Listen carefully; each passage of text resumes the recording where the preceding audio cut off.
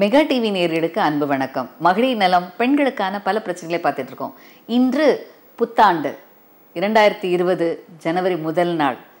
இந்த நிகழ்ச்சியை காணும் மெகா டிவி நேர்கள் அனைவருக்கும் யூடியூப் மூலமாகவோ அல்லது நேரடி தொலைக்காட்சி மூலமாக கண்டு கழிக்கும் மெகா டிவி நேர்களுக்கு என் அன்பான புத்தாண்டு வாழ்த்துக்கள். இந்த புத்தாண்டில் நீங்கள் அனைவரும் ஆரோக்கியத்தோடு மன ஆரோக்கியத்தோடு சந்தோஷத்தோடு மற்றும் நல்ல ஒரு ஆரோக்கியத்தோடு வாழ வாழ்த்துகிறேன்.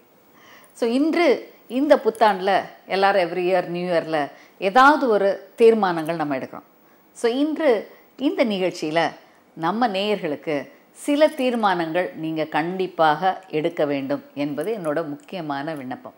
அதாவது நம்ம ஒவ்வொரு வருஷமும் ஒவ்வொரு நிலை தாண்டி வர்றோம். இத்தனை வருட காலம் நல்ல ஆரோக்கியமாக இருந்திருக்கலாம். சில பிரச்சனைகள்னால கஷ்டப்பட்டிருக்கலாம். சில வேதனைகள்னால இருக்கலாம். சில இழப்புகள்னால இருக்கலாம். ஆனால் நம்ம எப்படி ஒரு ஆரோக்கியமாக இருப்பதற்கு இந்த வருஷத்தில் நம்ம என்னென்ன தீர்மானங்கள் எடுக்கிறோம்? அப்படிங்கிறத நீங்கள் உறுதியாக ஒவ்வொரு பெண்ணும் ஒவ்வொரு ஆணும் ஒவ்வொரு குடும்பத்தில் உள்ள ஒவ்வொருவரும் ஒரு தீர்மானம் பண்ணுவதை இன்று நான் ஒரு முக்கியமான விஷயமாக கருதுகிறேன். பெண்களுக்கு நான் சொல்கிற தீர்மானம் அதாவது இளம் பெண்கள் குறிப்பாக ஒரு பருவநிலை அடைந்த அடலசன்ஸ் காலேஜ் போகிற பெண்கள். ஏன்னா பெண் குழந்தைகள் என்பது தாயோட பராமரிப்பில் இருப்பாங்க. பல நேரங்களில் இந்த பெண்களுக்கு பெண் குழந்தைகளுக்கு தாயோட எல்லா விதமான ஒரு கவனமும் கவனப்பும் இருப்போம். ஆனால் இதே பெண் பருவமடைந்து ஒரு பள்ளி பிரயாணத்தை அடுத்து ஒரு காலேஜ் ஒரு ப்ளஸ் டூ காலேஜ் போகிற பெண்களுக்கு நான் சொல்கிற ஒரு உங்களோட தீர்மானங்கள். குறிப்பாக பெண்களுக்கு இந்த ஸ்டேஜில் வளர்கிற பெண்களுக்கு முக்கியமாக வருகிற விஷயம் மூன்று விஷயம். ஒன்று உடல் பருமன். இரண்டு தன் உடலை பற்றி ஒரு ஒரு க ஒரு அவங்களுக்கு வந்து அந்த உடலை பற்றி ஒரு விஷன் இருக்கும். ஒரு இமேஜ் இமேஜ் இருக்கும். அந்த இமேஜ் மூன்றாவது அவர்களுடைய பழக்க வழக்கங்கள். இந்த மூன்று விஷயத்தில் சில தீர்மானங்கள் பெண் குழந்தை பெண்கள் முக்கியமாக பருவமடைந்த பெண்கள் நீங்கள் தீர்மானிக்க வேண்டிய விஷயத்தை நான் முக்கியமாக சொல்கிறேன் முதலாவது விஷயம் உங்களுடைய உடல் ஆரோக்கியத்திற்கு முறையான உடற்பயிற்சி.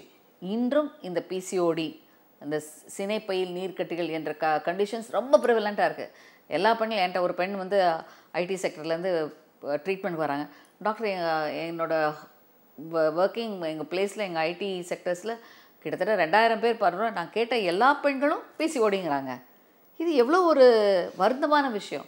ஸோ இந்த நிலை மாற பெண்களாகிய நீங்கள் ஒரு தீர்மானம் எடுத்துக்கொள்ள வேண்டும்.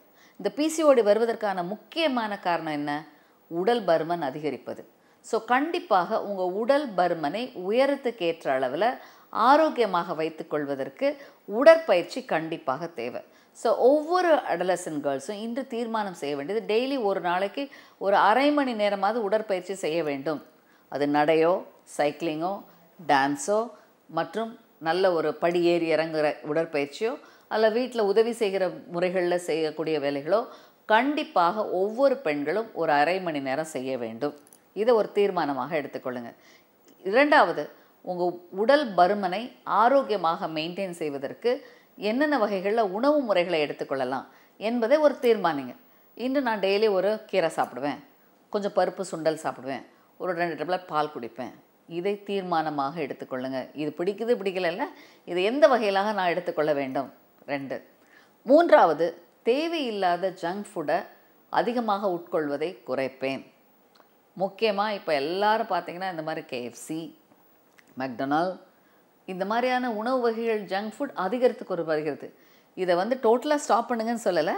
வாரத்தில் நாலு நாள் சாப்பிட்றீங்கன்னா வாரத்தில் ரெண்டு நாள் ஆக்கிக்கொள்ளுங்க உங்கள் தீர்மானத்தை இந்த வகையில் உணவு முறைகளில் ஆரோக்கியமாக இருப்பதற்கு ஒரு தீர்மானம் எடுத்துக்கொள்ளுங்கள் ஸோ உடற்பயிற்சி உணவு மற்றும் அந்த உணவு வகைகள் முறைகளில் சில தீர்மானங்களை எடுத்துக்கொண்டு அதை செயல்படுத்துங்க.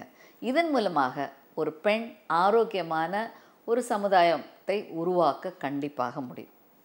இரண்டாவது பெண்கள் உடலுக்கு அடுத்து மனம். இந்த நிலையில் உங்கள் மனதில் வந்து ஒரு ஈர்ப்பு இருக்கும். கண்டிப்பாக வந்து ஒரு ஒரு ஆண் ஆணை நோக்கும் போதோ இல்லை ஒரு ஆண் பெண்ணை நோக்கும் போதோ இந்த பாலியல் ஆன ஈர்ப்பு இயற்கையில் வரக்கூடியது இந்த அடலசன்ட் ஏஜில் இந்த ஹார்மோன்ஸோட மாற்றங்கள் இதில் எப்பயுமே ஒரு ஆப்போசிட் செக்ஸ் மேலே ஒரு ஈர்ப்பு வரும். ஸோ இந்த நாளில் இந்த நேரத்தில் நீங்கள் தீர்மானம் செய்து கொள்ள வேண்டிய ஒரு பதினெட்டு வயது பத்தொம்போது வயது பெண்ணானவள் தன் வாழ்க்கையில் ஒரு தீர்மானம் ஒரு ஆப்போசிட் செக்ஸை பற்றி எடுக்கும் பொழுது இந்த நிலையில் நமக்கு ஏற்படுற உணர்வு ரீதியான மாற்றங்களில் டிசிஷன்ஸை எடுக்காதீங்க. உங்களோட பார்ட்னர் அப்படின்ற முறையில் தேவையில்லாத ஃப்ரெண்ட்ஷிப்பை தீர்மானத்தோட முடிவோட அதை ஆழ்ந்த நிலையில் இதை எடுத்துக்கொள்வதற்கு இது நேரம் அல்ல. இந்த இந்த நிலை சரியானது இல்லை என்பதை தீர்மானித்துக் கொள்ளுங்கள் ஏன்னா இந்த நேரத்தில் உங்களுக்கு ஒரு ஆப்போசிட் செக்ஸ் மேலே ஒரு ஈர்ப்பு இருக்கும். ஒரு இது வந்து இயற்கையில் நடக்கக்கூடிய விஷயம் இது யாரும் மாற்றக்கூடிய விஷயம் அல்ல. இதை பொற்- பற்றிய நீங்கள் ஒரு தெளிவான விஷயத்தில் இந்த ஒரு சின்ன நிலையில் இந்த நிலையில் நம்ம எடுக்கிற தீர்மானம் சரியானது அல்ல. ஒரு இருபத்தோரு வயதாகும்போது ஒரு பெண்ணுக்கு இதை பற்றி ஒரு தெளிவான ஒரு வெளிப்பாடு வரும். தெளிவான அவங்களோட எதிர்காலத்தை பற்றி ஒரு நல்ல ஒரு நிலை வரும். அவங்க அந்த ஸ்டேஜில் அவங்க எதிர்காலம் எந்த லெவலில் இருக்கும் என்பதை பற்றி ஒரு கிளியர் பிக்சர் இருக்கும்.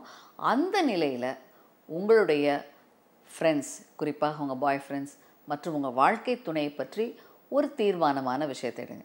தேவையில்லாமல் இந்த நிலையில் இந்த அடலசன்ட் ஏஜில் ஏற்படுற ஹார்மோன் மாற்றங்கள் உடல் ரீதியான மாற்றங்கள்னால அவசரப்பட்டு எந்த தீர்மானமும் எடுக்காதீங்க. இதை முக்கியமாக இந்த வருஷத்தில் உங்கள் மனசில் ஒரு எண்ணமாக கொள்ளுங்கள் இந்த மாதிரி ஒரு சிந்தனைகள் வரும்போது இது நம்ம எடுக்கிற தீர்மானம் சரியா?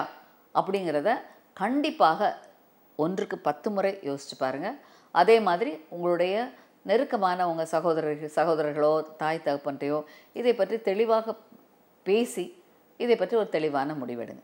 இது இரண்டாவது.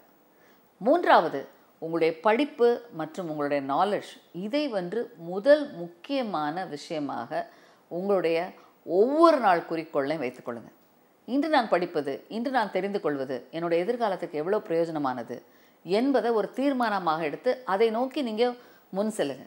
இதன் மூலமாக நீங்கள் ஒரு மனதளவிலையும் உடல் அளவிலையும் மற்றும் நாளைக்கு சமுதாயத்தை உருவாக்குற வகையிலும் ஒரு நல்ல ஆரோக்கியமுள்ள ஆண் பெண்ணாக உருவாக முடியும். ஸோ adolescent ஏஜ் பீப்புள் இந்த ஒரு தீர்மானத்தை இந்த வருடத்தின் முதல் நாளில் எடுத்துக்கொள்ளுங்க.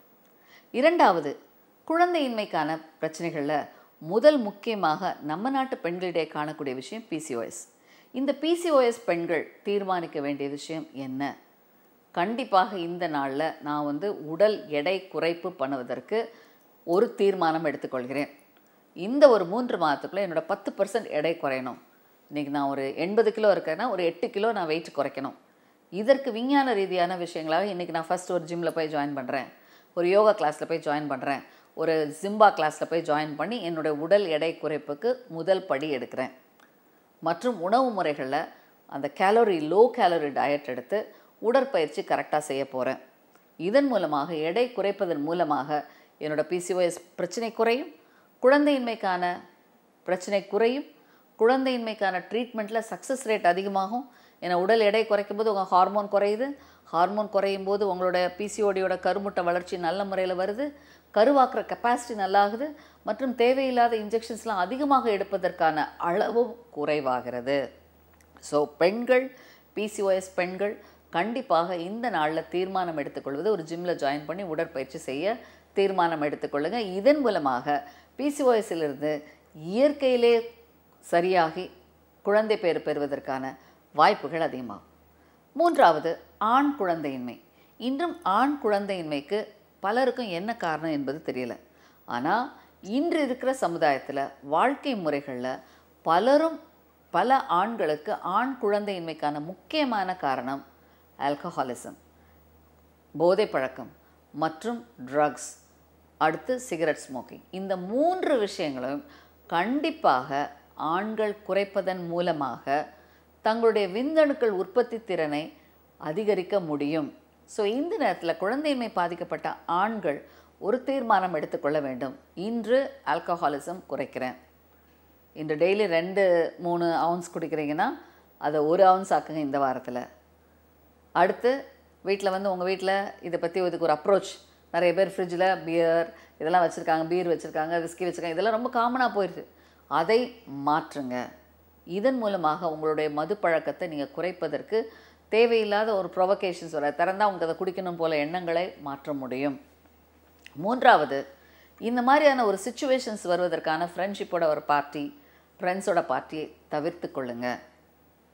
நான்காவது டெய்லி குடிப்பழக்கம் இருக்கிறவங்க வாரத்தில் ரெண்டு நாள் குடிப்பழக்கம் பண்ண மாட்டேன்.